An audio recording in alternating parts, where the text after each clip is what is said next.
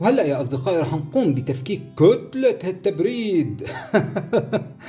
مجموعة التبريد عبارة عن مبرد صغير بهذا اللابتوب. أنا بستغرب إنه لابتوبات حجمها كتير كبير على بورد صغيرة بهذا الشكل. صباح الخير شباب. كتير تحدثنا بفيديوهات سابقة عنا على القناة عن موضوع مهم جدا ألا وهو إضافة هاردين ضمن لابتوب واحد. واليوم بين إيدينا لابتوب الأسوس الإكس 540 اس رح نتحدث عن طريقة التفكيك طريقة تنظيف المراوح وتبديل معجونة المعالج إضافة لتركيب هاردين ضمن هذا اللابتوب. بس قبل ما نبدأ التفكيك يا شباب بتمنى منكم الإعجاب بالفيديو لحتى يزيد انتشاره. عم تشوفونا أول مرة اشتركوا بالقناة وفعلوا زر الجرس ليوصلكم كل جديد بعالم التقنية. مثل ما حكينا ببداية الفيديو أصدقائي إنه نحن رح نركب hard إضافي ضمن هذا اللابتوب. وال hard الإضافي اللي هو ال SSD رح يكون بمكان ال hard الأصلي اللي هو ال HDD الميكانيكي والميكانيكي رح ينتقل لمكان ال CD-ROM أو السواقة. وكونه تكلمنا عن السواقة في ملاحظة مهمة جدا قطعة ال caddy هي بيجي مقاسها 9.5 يعني ال CD-ROM اللي ضمن هذا اللابتوب هي 9.5 ملم السماكة الخاصة فيها. لذلك بدنا ننتبه لهذا الموضوع لأنه في لابتوبات قديمة بتيجي السماكة الخاصة فيها 12.7 ملم هذا موضوع مهم جدا بالنسبة لموضوع الكادي. انتبه لهذا الموضوع قبل ما تشتري الكادي لتركيب الهارد بداخلها.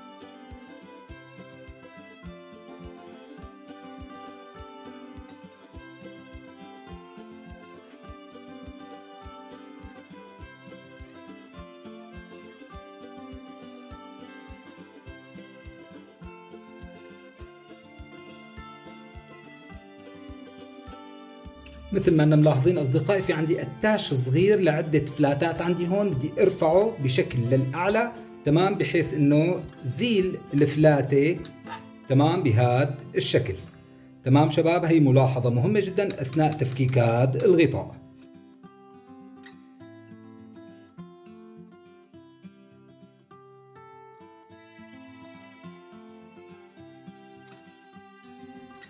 طبعا هدول هن الفلاتات اللي كانوا موجودين على ال board بدنا ننتبه مشان ما نضرب ال keyboard.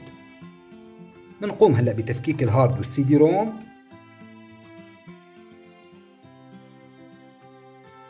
بنقوم بسحب ال hard بهذا الشكل.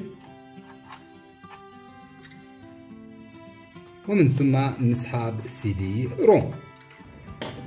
طبعا ملاحظة مهمة جدا في عندي أظافر بهذا المكان بسحب السواقة لهذا المكان ومن ثم برفعها وبتطلع معي.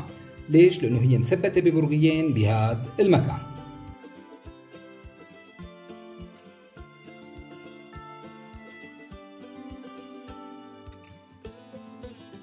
وهلأ بنقوم بتفكيك ال hard disk الميكانيكي لنوضع بداله ال SSD طبعا في ملاحظة مهمة جدا في عندي أربع براغي تمام؟ لازم فككون كل. وعندي هذا الاسفنج بشيله بهي الطريقة هو لاصق بحاول قدر الإمكان إنه يضل سليم.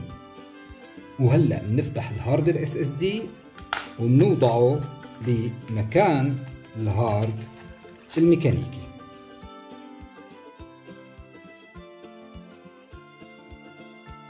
وبعد ما رجعت الأربع براغي للمكان السليم تبعهم صار ال SSD بهذا المكان وهلأ برجع عليه الاسفنج اللي كان موجود.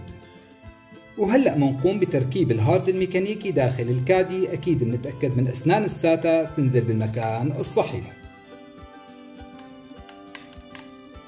مجرد وصول الأسنان للنهاية مثل ما إحنا شايفين تظهر عندي العزقات الخاصة بالتركيب. بنركب عليها البراغي.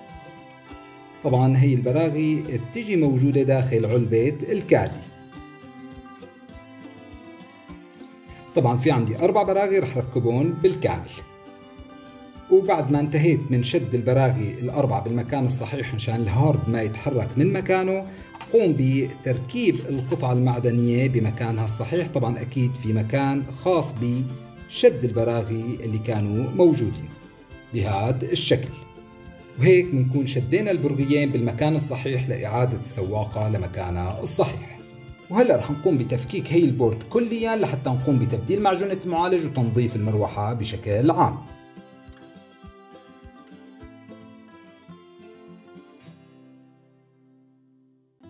في عندي هالقطعة البلاستيكية بيكون عليها لاصق بسيط جدا بشيلها من على ال board.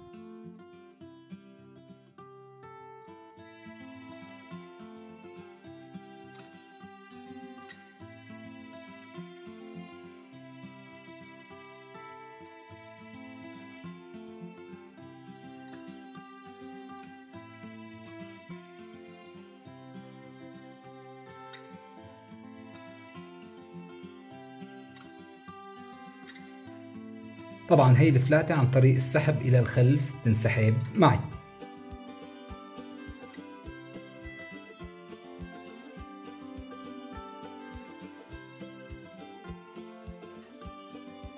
مثل ما أننا شايفين تفككت معي المروحة وهلأ بنقوم بتنظيفها.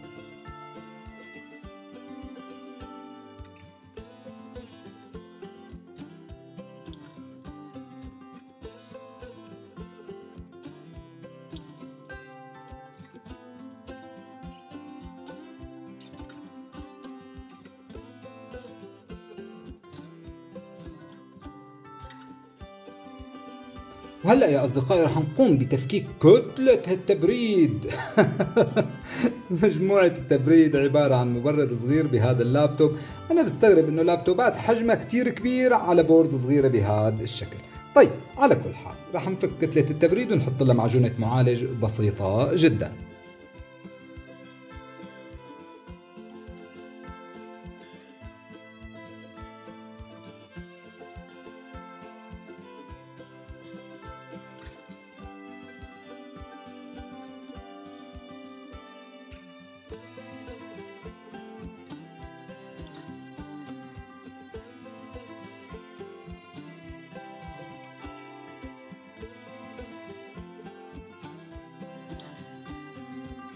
على فكرة ملاحظة مهمة جدا لتبديل البطارية أنت مضطر لتفكيك الجهاز بالكامل. نعم أصدقائي لتبديل البطارية بدك تفكك البورد كلياتها لحتى توصل لها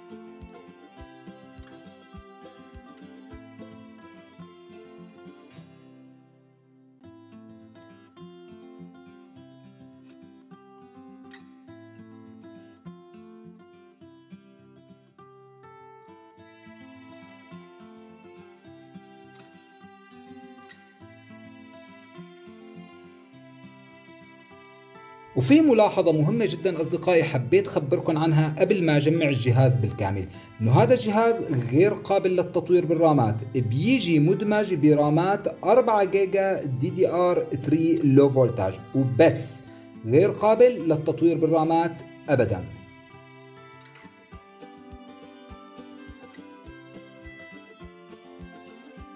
وطبعا في ملاحظة مهمة جدا أثناء تركيب السواقة أو فكه بدنا ننتبه على السكك اللي موجودة على الأطراف بحيث أنه تنزل بداخلها بشكل سحب.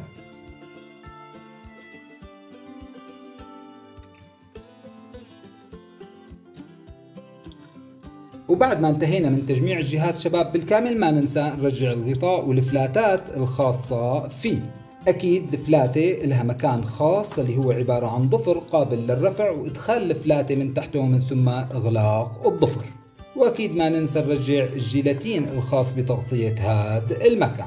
شكرا لمتابعتكم أصدقائي وإلى اللقاء بفيديو جديد من فيديوهات قناة تقنية عربية.